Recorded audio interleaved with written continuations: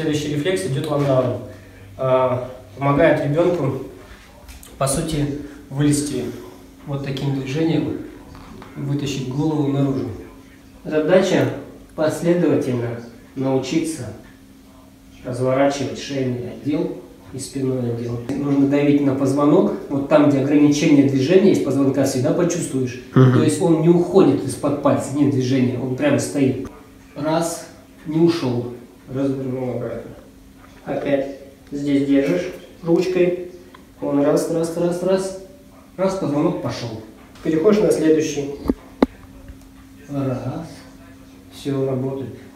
Есть верхний рефлекс ландау, есть нижний.